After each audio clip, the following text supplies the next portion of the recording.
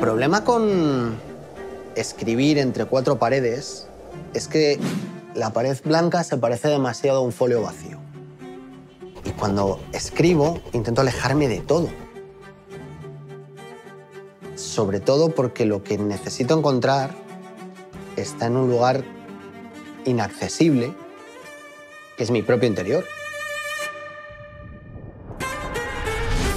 Es así, la inspiración no viene de fuera. Inspiración nace de, de aquí y de las cosas que, que ves y que traes dentro de tu cabeza, se junta todo y da lugar a, a algo, a algo en lo que tienes que trabajar. Por eso intento marcharme, encontrar un horizonte, un sitio al que ir donde, donde no tengo una pared delante. Por eso cuando, cuando escribo, o sea, el mero hecho de caminar por el, por el campo y, sentir el sol en la cara, de repente te hace sentir que, que tú eres parte de algo mucho más valioso. Y no, no es otra cosa que darme cuenta de que estoy vivo. No hay nada más ridículo que estar delante de este trasto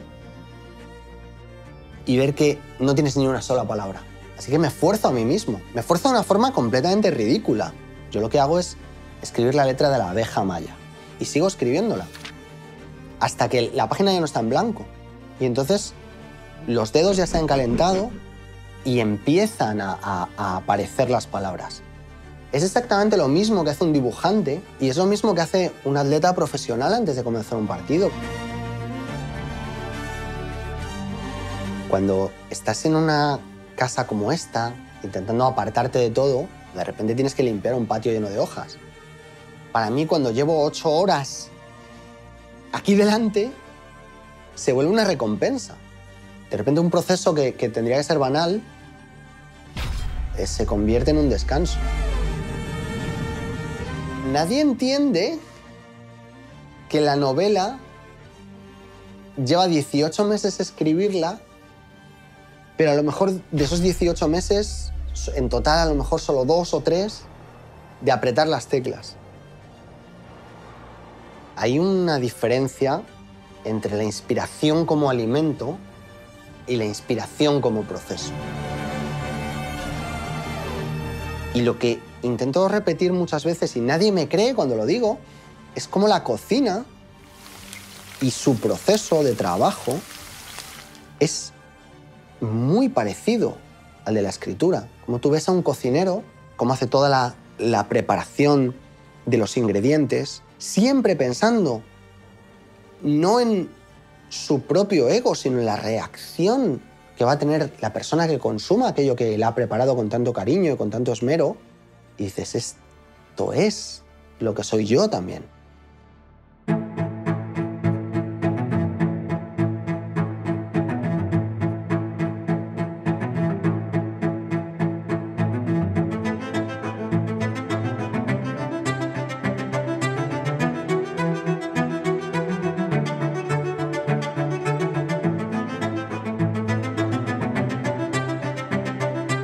Yo busco de verdad la inspiración, la inspiración auténtica, es viendo a profesionales como tú, con los que yo me siento y aprendo.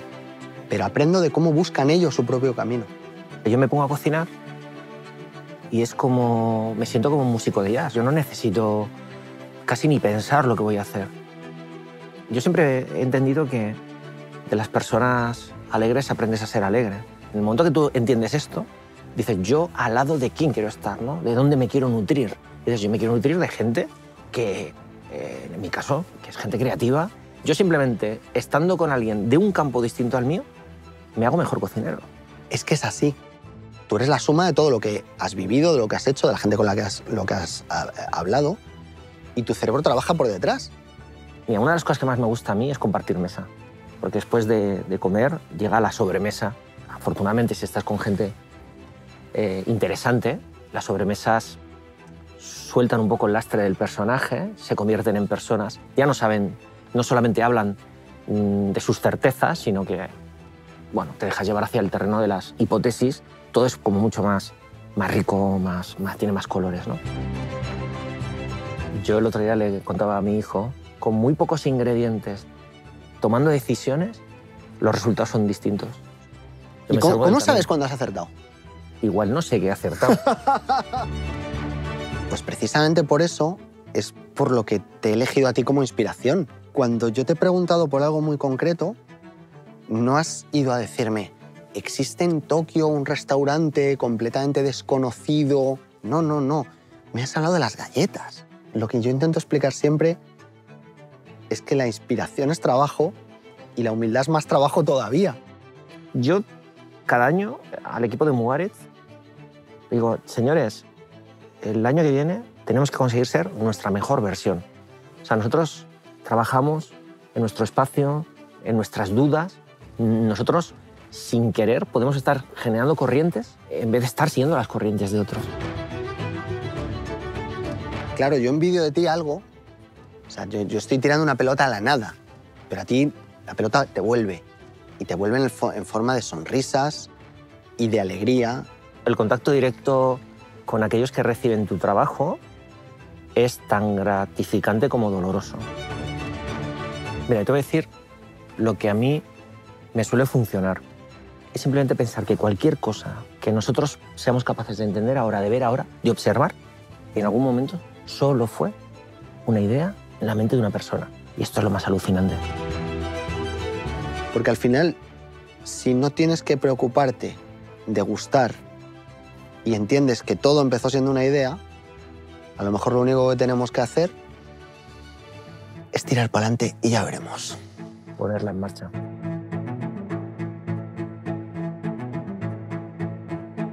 Kia, movement that inspires.